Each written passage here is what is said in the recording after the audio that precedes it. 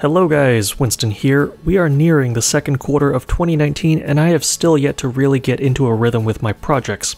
It's been a non-stop struggle fest to get set up in my new shop and Pavel, the Pocket NC V210, has been sitting silently in the corner the whole time, but his stagnation will come to an end soon enough. And yes, I gave him a name, constantly calling it the Pocket NC seems weird. It's both the machine name and the company name.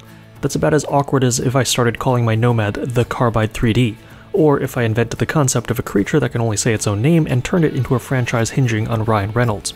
Anyhow, V210 just sounds a little too impersonal to keep repeating, so this is Pavel, which is fitting because the name connotes small or modest. I've got an upcoming project I think would be a fantastic 5 axis exercise, but before I can begin to tackle it, I need a way to hold a rectangular block of stock on my machine. Work holding on a 5-axis machine has traditionally been tricky at best, and the current Pocket NC ecosystem doesn't buck the trend.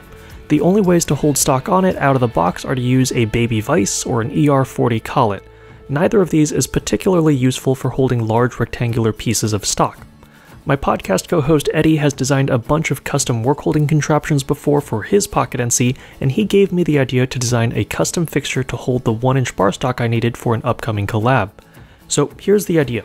Machine a platform with a short stubby face that I can bolt my bar stock to, it'll match Pavel's B-table bolt pattern and hopefully be strong enough to suppress any vibrations from machining an awkwardly tall part. My material of choice for this platform would be Delrin, but I couldn't scrounge up any at Carbide 3D HQ, so instead I settled for HDPE.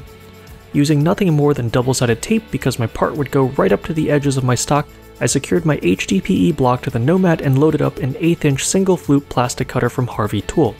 At the time, this was my only single flute tool that was 8th inch all the way down. Now let's review the tool paths I had lined up. First up is an adaptive clear. 10,000 RPM, 48 inches or 1200 millimeters per minute. Since this is a single flute cutter, that means our chip load is a really healthy 4.8 thou or 0.12 millimeters. No machining boundary and stock contours are allowed to default to the setup extents. This toolpath is going to blow through every last cubic inch of unneeded material. Optimal load 50 thou 1.27 millimeters. Depth of cut 8th inch 3.175 millimeters. Radial stock to leave 10 thou 5 thou in axial, roughly a quarter and an eighth millimeters respectively. That's plenty of margin in a soft material where I don't expect a lot of vibration or deflection.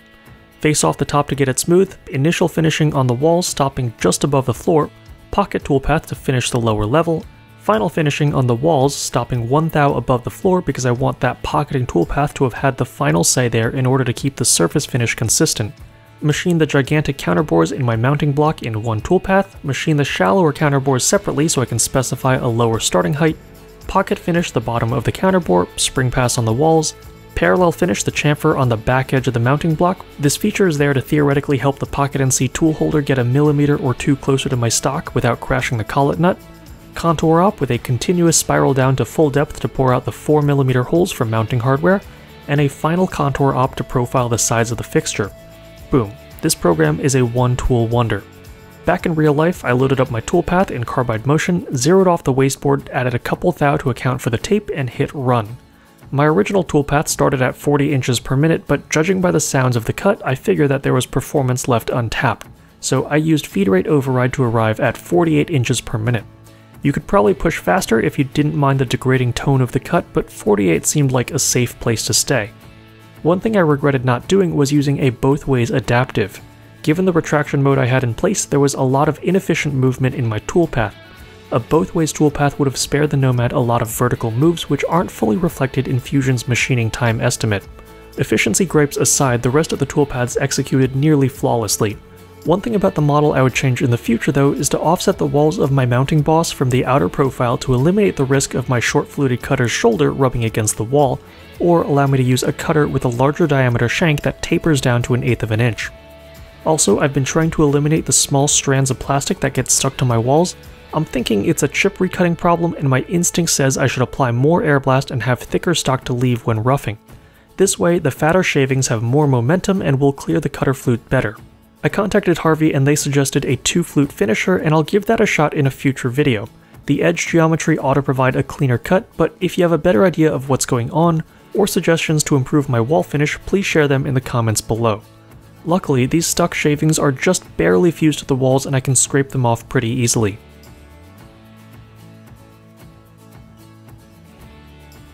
The bolt hole pattern I machined on the Nomad aligns perfectly with the Pocket NC's B table.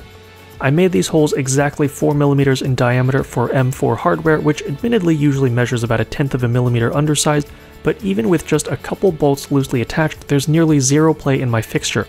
It might as well be pinned. I'm really happy with how well the Nomad held tolerances for this project. Pavel was tasked with a simple secondary op to mill out the horizontal through holes needed to bolt stock to this fixture and with this simple piece completed, the door is now open to work holding larger blocks of material in a way that maximizes access to 5 of the 6 faces, which is important because the 5-axis project going on this machine will require every side to be machined. This fixture is just the tip of a very large project iceberg, and if you follow me on Instagram, you probably already know what I've been cooking up, the most technically challenging part I've ever attempted. A titanic undertaking both from a cam and machining perspective that very nearly ended in failure but you'll get that story in due time. I want to thank you all very much for watching, and Pavel and I will be back soon with some crazy multi-axis fun.